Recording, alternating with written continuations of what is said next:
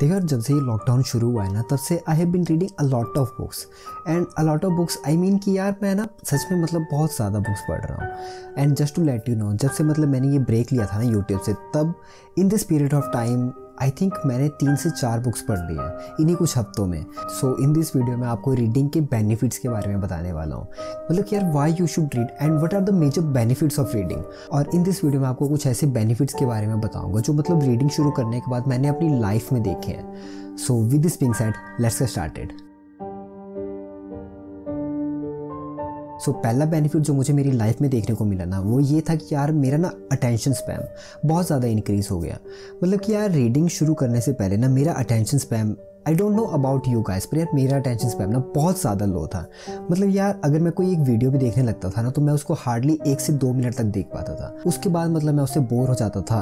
And in fact कि अगर चाहे वो वीडियो मतलब इंटरेस्टिंग भी हो फिर भी मतलब मैं उससे बोर होने शुरू हो जाता था कि यार मतलब I need some more content पर यार बुक्स रीड शुरू करने के बाद ना मेरा अटेंशन स्पैम बहुत ज़्यादा इंक्रीज होने लगा। मतलब कि यार अब ना मैं किसी भी एक चीज़ पर बहुत ज़्यादा देर तक फोकस कर सकता हूँ। सो so, जो एक मेजर बेनिफिट मुझे रीडिंग शुरू करने के बाद अपने लाइफ में देखने को मिला।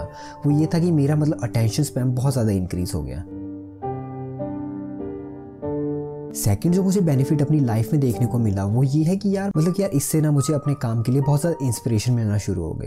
मतलब कि यार being a writer myself being a content creator myself मतलब कि यार हर वक्त मैं ना एक नए कॉन्टेंट की तलाश में रहता हूँ। कि मतलब आज मैं इस टॉपिक पर वीडियो बनाऊँ, आज मैं इस टॉपिक पे आर्टिकल लिखूँ। एंड रीडिंग शुरू करने के बाद ना मुझे मतलब इन बुक्स से मतलब मुझे बहुत ज़्यादा इंस्पिरेशन मिलती है अपने काम के लिए मतलब नए नए टॉपिक्स ढूँढने के लिए नए नए कॉन्टेंट आइडियाज़ ढूँढने के लिए। सो अगर आप भी किसी एक क्रिएटिव फ़ील्ड में हो तो you should better start reading believe me इससे आपको भी नए नए कंटेंट राइटर ढूँढने के लिए बहुत ज़्यादा इंस्पिरेशन मिलेगी।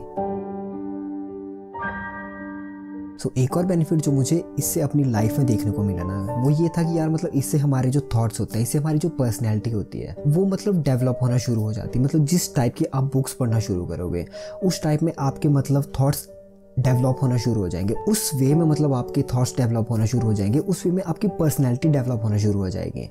सो so, अगर आप मतलब एक अच्छी बुक पढ़ोगे, एक अच्छे मतलब उस पर फिलोसफी वाली आप बुक पढ़ोगे। तो बिलीव में आपकी पर्सनैलिटी बहुत सही वे में ग्रो होगी, आपके थॉट्स मतलब बहुत ज़्यादा अच्छे वे में ग्रो होंगे। So these are some major benefits जो मुझे लगा कि मतलब रीडिंग शुरू करने के बाद मैंने अपनी लाइफ में नोटिस किए। सो अगर आप भी रीडिंग शुरू करना चाहते हो ना तो believe me you should better go for it इसके बारे में ज़्यादा मत सोचो, बस कोई एक बुक उठाओ और उसे पढ़ना शुरू कर दो। So that's is it for today I hope you like this video thanks for watching it